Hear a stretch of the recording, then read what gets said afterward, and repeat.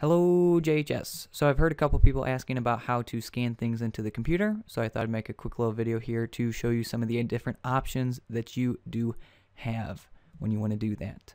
So this is the short and sweet version here. The first thing that you're going to need to do is uh, you'll just have to go to the copy machine in the uh, teacher's lounge, take your papers with you, and you just put them right in the tray like you would uh, when you're making your regular copies. Pretty simple. After that, you'll need your flash drive and you can go ahead and put it into the USB port. Now, I don't know how this works with the uh, copy machine in the main office. I haven't tried that yet. So this is the one in the teacher's lounge again. After that, uh, it should recognize your device and it'll pop up a little menu that says you can scan to your USB or you can print things from your USB. I usually scan things to it. I have not tried that second option of printing. Once it recognizes your USB device, you have a variety of options.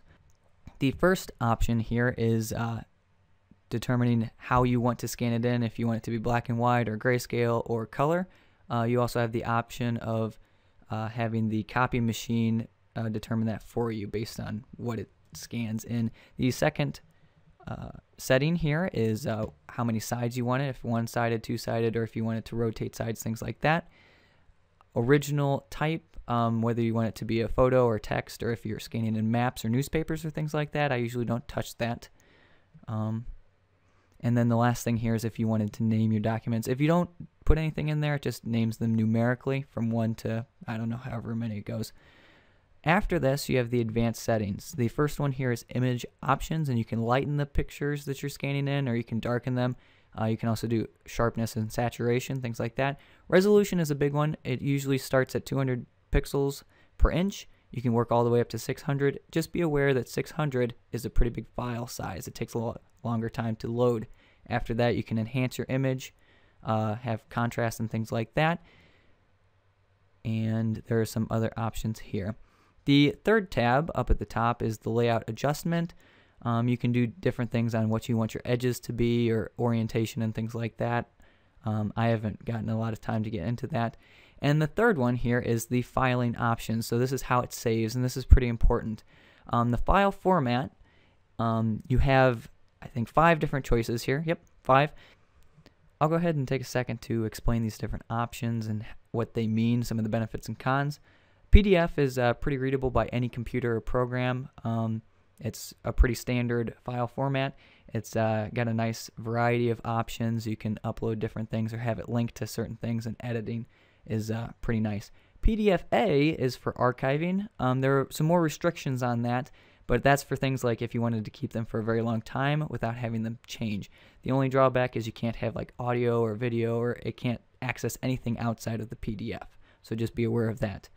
Um, XPS is kind of like Microsoft's version of PDF. Um, I never really use it. It's not as uh, capable or compatible with other computers.